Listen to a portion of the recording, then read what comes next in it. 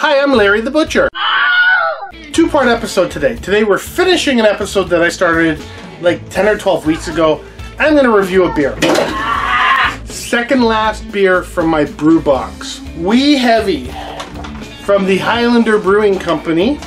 It's a Scottish ale with, oh my god, 8% alcohol. Why did I pick this one? Happy New Year! I've reviewed the brewery. We've talked about it before when I did their Blacksmith Smoked Porter. So if you want to learn about the brewery, go ahead. It's really cool. It's near North Bay. Um, complex malt profile is very approachable and easy drinking. Notes of burnt sugars and creme brulee. Aaron, you'll like this one. Notes of dark fruits, figs and raisins. Noble hop profile with uh, slight honey granola dry finish. Very well balanced and sustainable ale. Crack this baby open.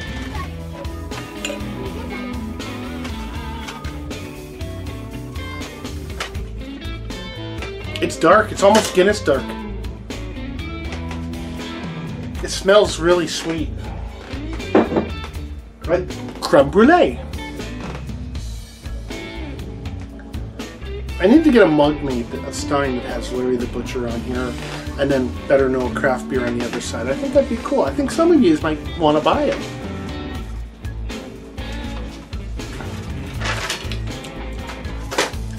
Well, it's got a bitterness to it. And the other thing I'm doing is, do you remember when I put those steaks away and I started dry aging them in wine? Well, here they are.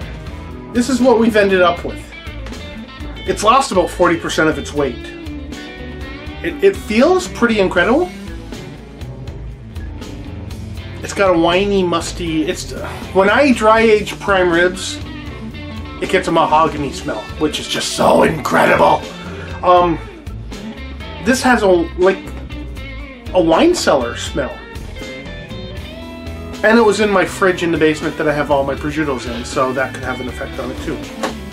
And it's dried out a little bit, so what I'm going to do is I'm going to cook it in garlic butter, and we're going to have rice and we're going to have corn. So Wee Heavy has an IBU of 37, which if you remember the um, smoked porter that I had from this brewery had an IBU of 39. It's actually quite good. I did enjoy it, but it, it fools you. It's got this sweet aroma to it, but when you drink it, it's got a high, it's got an IBU like above like 20. So it kind of fools you a bit, which makes you feel like it's got a higher IBU. I would recommend it. It was good. It's expensive. It's $90 for a 12 pack. Um, the smoked stout, smoked porter that I had was $60 for a 12 pack. But it's craft beer. It's worth it. Now the steaks. The steaks are a different matter. I won't try this again with strip loin. You dried out way too much.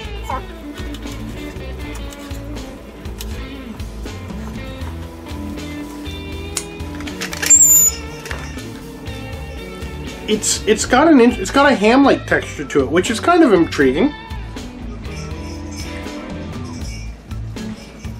And it chews like ham, but it's beef. Isn't that awesome? So what I did is I put it in garlic butter, full tilt. And then I added some of the wee heavy, just to add some moisture to it, to get moisture into it. It was kind of successful. And I took these out and let them rest. They don't need to rest, it's like ham. I made gravy, and the gravy looks pretty good.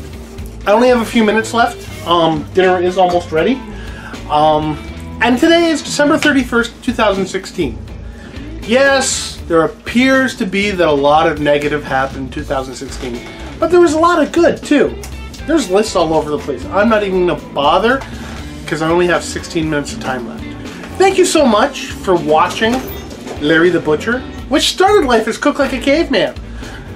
The name didn't fit what I was doing. That's why I changed it. It's the only reason. And besides, my name's Larry, and I'm a butcher. It kind of makes sense. Thank you so much for carrying on, tolerating me on your YouTube feed for a year. Thank you so much, guys. I wish you the happiest of New Year's. 2017 is going to be pretty freaking awesome. It won't be awesome if you let it not be awesome. Think about that for a minute. Thank you for watching. Like this episode, comment down below. Subscribe to the channel right about there. Share this on all your favorite social media. Send me an email, larry at larrythebutcher.com. I will reply. Comment here on the, on my YouTube channel. I get I, I try to be uh, within two hours. I try to reply. From everyone here at Larry the Butcher headquarters, we cannot thank you enough. And we will see you again later.